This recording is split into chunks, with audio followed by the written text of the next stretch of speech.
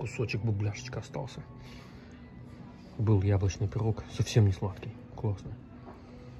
Кофе. Вот в таком красивом месте. Это финно. Сделали, конечно, вообще просто огонь.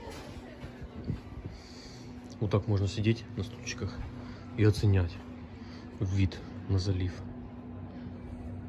Вообще нереально классно. Как разогнался катерок.